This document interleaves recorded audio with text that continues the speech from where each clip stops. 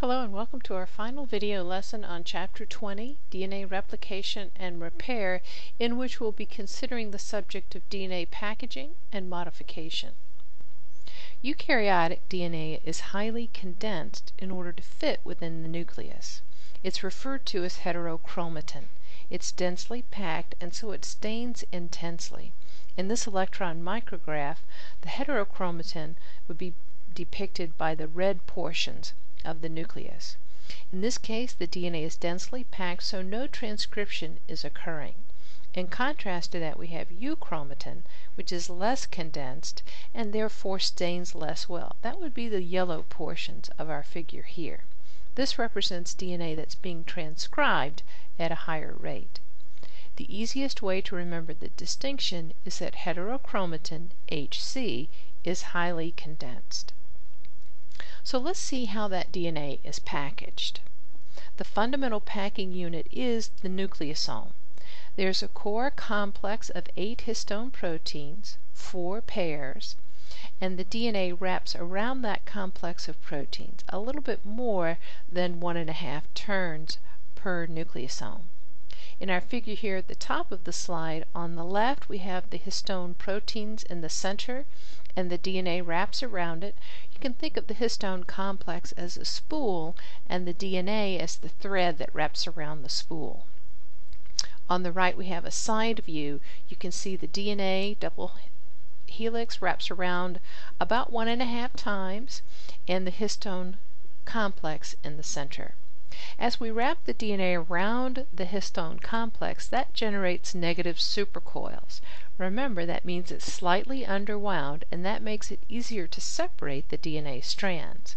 However, we still have DNA bound to protein.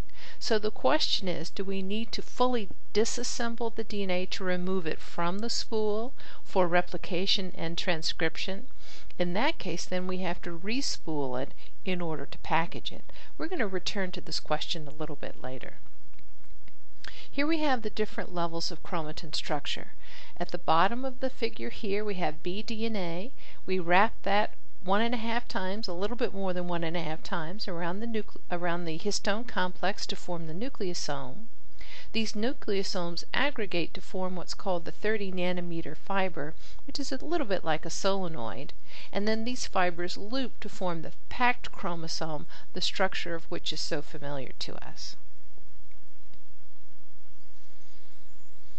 Whether we have euchromatin or heterochromatin determines whether or not the DNA is being actively transcribed. So clearly there's a more packed form of the DNA, more densely packed, and a less densely packed.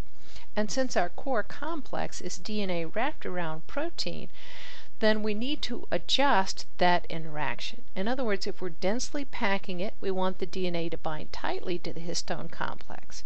If we are transcribing it or replicating it, we need to loosen that interaction. Well, how can we do that? Well, we can either modify the proteins that form this histone complex, or we can modify the DNA, and we actually do both. Let's look first at the modification of those histones. The histone pairs associate in a kind of a handshake, and that's a pair of histones is illustrated at the top of the slide here. As you can see, each, each histone contains one long helix and two short helices. The tails of these histones are flexible and charged and they extend out from the core. This is where we're going to make those modifications. We can add and remove groups to either tighten or loosen the connection of these histones with the DNA. We can add and remove acetyl groups, phosphoryl groups, or methyl groups. So this is a way of fine-tuning the chromatin structure. We can stabilize it if we want to pack it, or destabilize it if we want to transcribe it. We can also modify the DNA itself. There are C residues next to G residues, and these are methylated in mammals. About 80% of our CG sequences are modified in this way, and we see a methylated cytosine residue at the top of the screen here. This would occur certainly after replication. In this case, the methyl groups, since they're bound to the bases, project out into the major groove. This makes it harder for DNA binding proteins to bind to the DNA and recognize the sequence. These CG sequences are referred to as CPG islands. The P just has to do with the fact that it's a phosphodiester bond connecting the C and the G. Clusters of these CPG sequences are located near gene promoters. As we'll learn in Chapter 21, gene promoters are where we begin the process of transcription. These CPG sequences at these gene promoters are typically unmethylated. Remember, that makes it easier for the transcription factors to bind and begin the process of transcription at those promoters, a more ready access for transcription. So if these are methylated, it's a way to silence the DNA so that it is not transcribed. This concludes our studies in Chapter 20.